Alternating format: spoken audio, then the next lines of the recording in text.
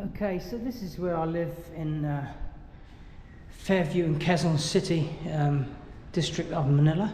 This is the uh, the studio that I live in in the winter time. This is Mira's place. This is called Guernsey 2. Uh, it's a little studio apartment, but it's lovely and new and clean. And we rent it out to select people um, through different uh, different apps. And we got uh, a manager, a lovely lady manager, and her husband that, that look after the place.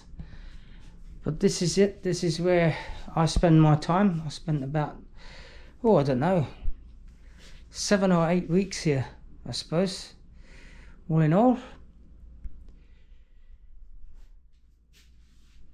And there we are. A little bit of Guernsey there. The plant but tube, little quirky little light there.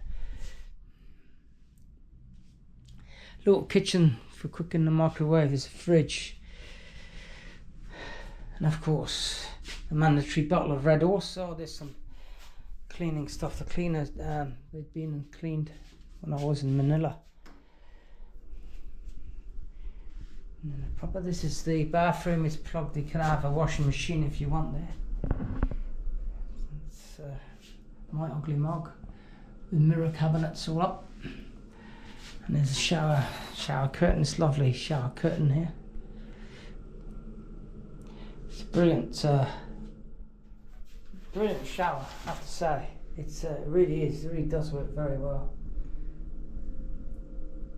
Overhead and the bit I like, I just I just take this off and I want it and I turn it on to that way and it's all fine.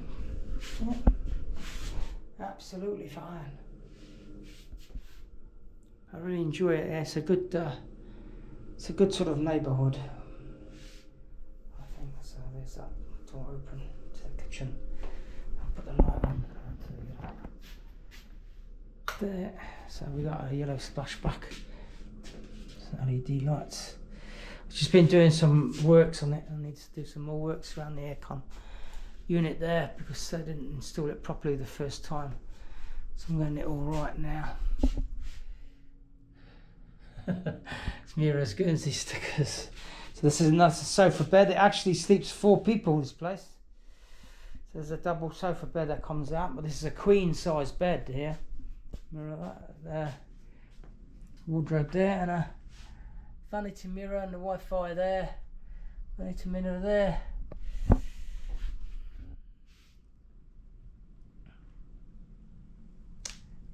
That's my winter pad.